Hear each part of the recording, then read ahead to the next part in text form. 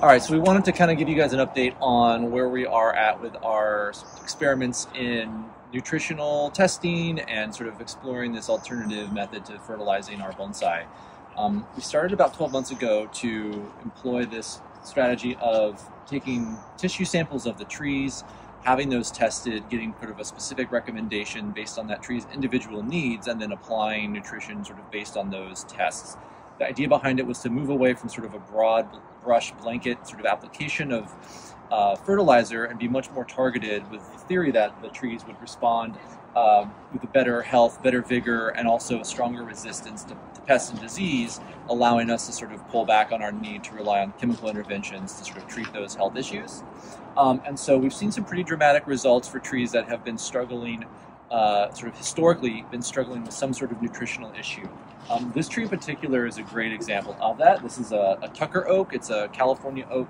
Um, and for a number of years, it has sort of uh, put out very minimal to little growth. Um, the color has also been on the paler yellow side, um, where for many years I would not prune this tree at all, just because there was really nothing to prune. It would just sort of push out its leaves. And while in bonsai we are trying to go for controlled minimal growth, this definitely wasn't a sign of of optimum sort of bonsai health, it was sort of a larger nutritional issue. And so as a result, this tree has really responded positively to it, um, as we can just see with the color.